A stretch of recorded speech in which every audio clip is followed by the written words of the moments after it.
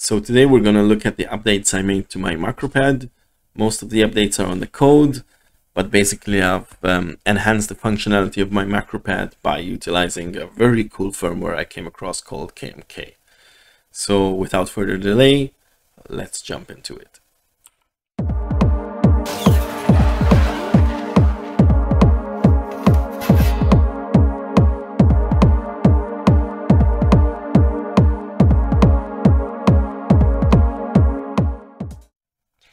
So basically, previously I had implemented some very crude code to assign function keys to the different buttons of my MacroPad. They didn't work so well in certain applications because the way I was implementing the transmission of the key code with this sleep functionality meant you couldn't use it for gaming because you didn't have that um, kind of constant state of being pressed for the game um, environment to capture that the button is continuously pressed pressed because the sleep function basically made it intermittent. So yeah, I've implemented some neat updates. So here are the updates.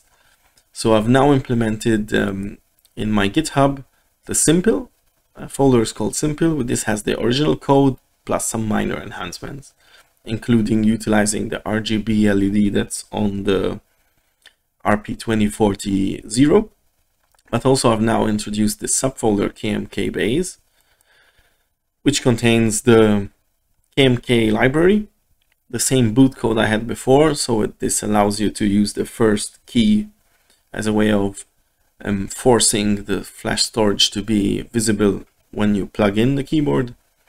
And then code and RP2040 are the um, let's say customizations of the KMK key maps to make it compatible with my keyboard.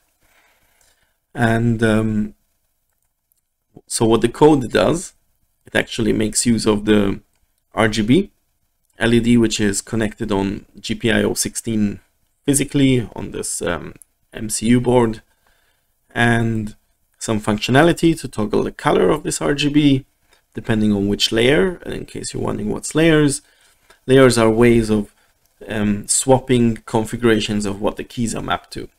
So when the key layer 0, the keys are defined from F13 to F20 with the bottom row and middle column um, exclusively set to toggle the function of the keys. So when you press this button, um, the bottom middle column, it will switch to these functions. So these are letter functions.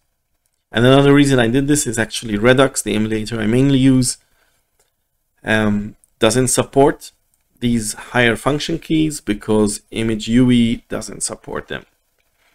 And just for reference, key code trans simply replicates the key code that was existing in the default layer. Um, so yeah, let's look into how this is working. So here I have the keyboard on. Here I have the RGB. It's currently in red, so which means we're on the base layer. Now the red is not so visible uh, on the cam, even though it's pretty visible physically. And actually I had to hack slightly the design. I had to install this white paper to make it reflect through the LED. So this is not ideal, but it works enough for this case. So here we got red. If I press this button, which is the bottom uh, row, middle column, you can see it's turned to blue. And I press it again, back to red. So that means when it's in red, it's utilizing these function keys. And when it's in, um, in blue, it's utilizing these letter codes. So let's open Redux and have a look at that. So we're going to launch Gran Turismo, press one of these buttons, it shows key code 302, which is the function key definition. Now if I press this button, we're now in letter codes. So I'm going to set cross to what I have a key as cross, square as square, triangle as triangle, circle as circle. Let's put um, start on the classic keyboard. And we need up down. So they're actually already configured correctly. I, well, no. Um, right down, left. So there we go.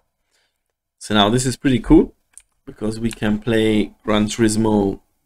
I'm gonna put on the audio for this. We can play Gran, Gran Turismo with this um, keypad. Just load this. There's there you see. You can turn the keys.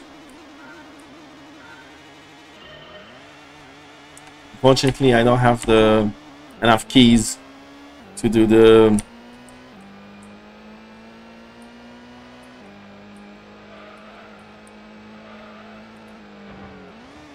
So of course it's not not really the right way to play the game, but but I'm just demonstrating the functionality of this. So let's close Redux.